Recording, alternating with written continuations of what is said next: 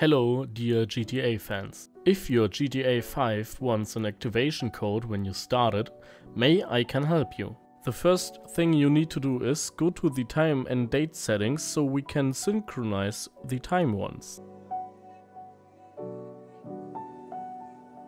After we have synchronized the time, we open Steam as administrator.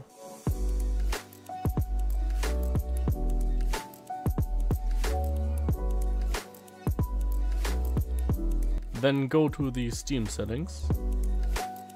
Click on Manage Storage. Check if GTA 5 is installed on the system hard drive. If it is not, create a Steam library or move it there.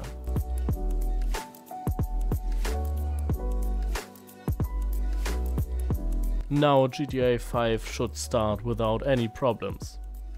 Feel free to leave a comment if it helped you.